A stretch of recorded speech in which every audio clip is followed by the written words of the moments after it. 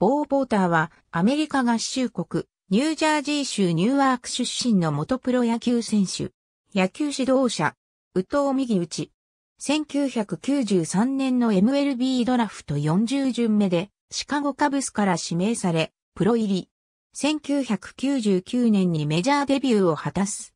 オフにルール5ドラフトでオークランドアスレチックスへ移籍した。2000年オフにウェーバーでテキサスレンジャーズへ移籍した。その後、マイナー組織で監督などを務めた。2007年から2009年までフロリダマーリンズで三塁コーチを務めた。